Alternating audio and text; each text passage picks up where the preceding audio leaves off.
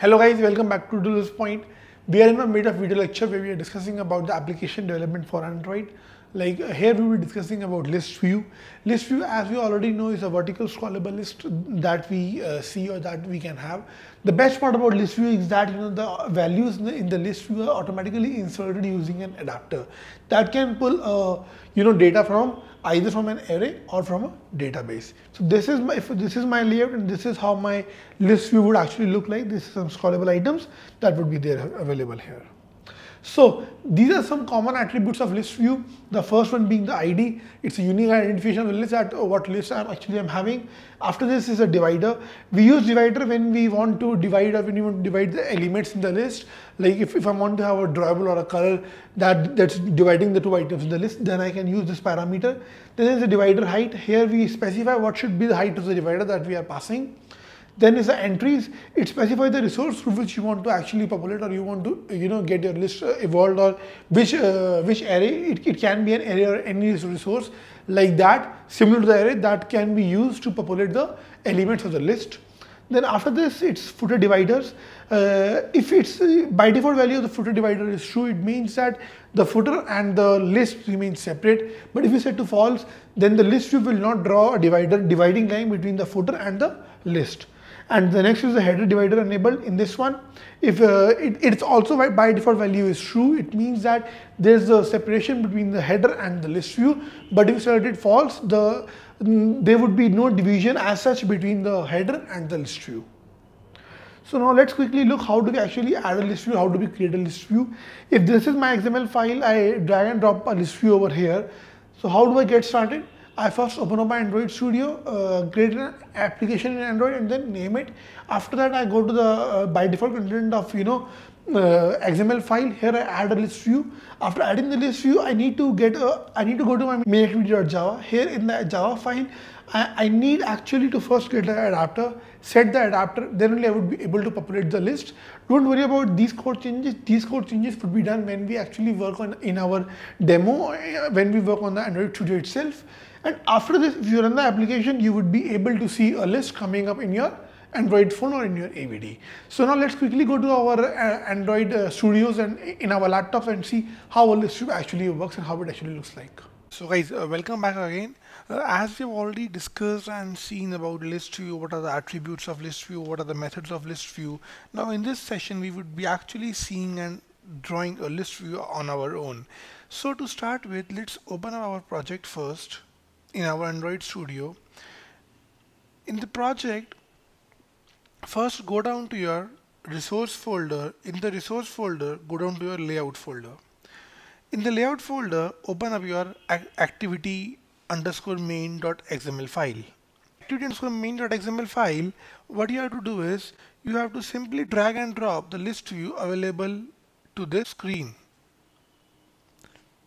Now what happens is as we have already seen that list view is nothing but a list which is having some items. Now after doing this come down to the properties for the list view. Give the ID for the list view as list. Remaining properties we left it as they are and let's quickly go to the text editor and see how the list view is looking on our screen. So this is our list view. It's in a linear layout and it's having a ID as list and the width and height are match parent and wrap content respectively because you want the width to match the parent but height should be the way it is having enough content in it. Now how do we get that which item or sub item are there in the list? So for that thing we make up a new XML from here and name that XML as activity underscore list view dot XML. This XML would be having the individual items for that particular list like this is having text view. Since we have designed a single list, I even have multiple elements or multiple points in this list.